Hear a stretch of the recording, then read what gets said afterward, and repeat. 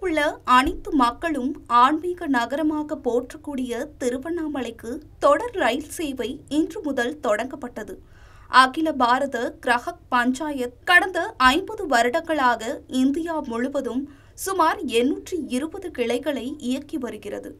தமிழகத்தில் இரண்டாயிரத்தி ஐந்தாம் ஆண்டு அகில ரயில் பாதை பணிக்காக நிறுத்தப்பட்ட சென்னை திருவண்ணாமலை நேரடி ரயில் இன்று வரை தினசரி ரயிலாக செயல்படாமல் இருந்த நிலையில் சென்னைக்கு புலம்பெயர்ந்த திருவள்ளூர் ராணிப்பேட்டை வேலூர் திருவண்ணாமலை ஆகிய பகுதி மக்களும் தினசரி அந்த மாவட்டங்களிலிருந்து பயணம் செய்யும் பொதுமக்கள் மற்றும் சிறு வியாபாரிகள் ஆகிய பல்லாயிரம் பேர் மிக குறைந்த ரயில் கட்டணத்தில் பயணம் செய்ய ஏபிஜிபி இயக்கம் சுமார் ஐம்பதாயிரம் கையெழுத்துகள் பெற்று ஒரு வருடத்திற்கு மேலாக தொடர்ந்து போராடி வந்த நிலையில் வெற்றிகரமாக இன்று சென்னை கடற்கரையிலிருந்து திருவண்ணாமலைக்கு மிக குறைந்த கட்டணமாக ரூபாய் ஐம்பதற்கு தினசரி பயணிகள் ரயில் வசதி தென்னக ரயில்வே அதிகாரிகளின் கனிவான அணுகுமுறையோடு தொடங்கியது.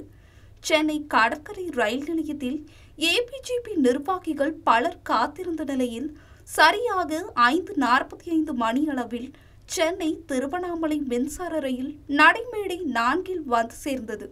இதனையடுத்து ஏபிஜிபி நிர்வாகிகளும் பொதுமக்களும் இணைந்து ரயிலின் முன்புறத்தில் நின்று மாலை அணிவித்தும் மலர் தூவியும் ஆரத்தி எடுத்தும் பூஜை செய்து உற்சாகத்துடன் அண்ணாமலையாருக்கு அரோகரா என்று கோஷமிட்டு வரவேற்றனர். பின்னர் கொடியசைக்கும் ரயில்வே ஊழியரும் ரயில் இயக்கும் லோகோ பைலட்டிற்கும் மாலை அணிவித்து பொன்னாடை போர்த்தி மரியாதை செலுத்தினர்.